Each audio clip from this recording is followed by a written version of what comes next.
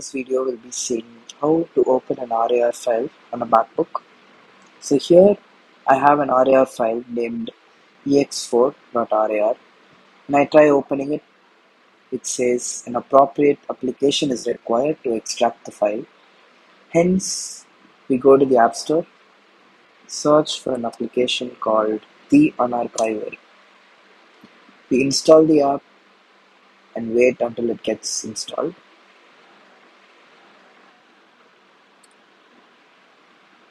Yeah, I think we're good to go now. Uh, the application has been installed. We open the application and uh, under archive formats, we check for the checkbox near the RAR archive and we go to extraction and here is the destination for the extracted file. You know, once you extract it, the extracted folder has to be uh, placed in the destination that's given here and I've chosen it as same folder as the archive. You can change it to desktop or you can add a destination folder.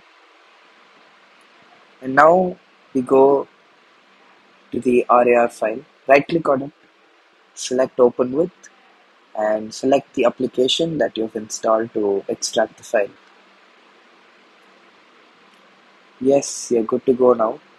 Um, ex4 has been extracted, you can see it here once I click on the folder, we get all the files that are inside the folder. Hope you all understood how to extract an RAR file on a MacBook. Thank you.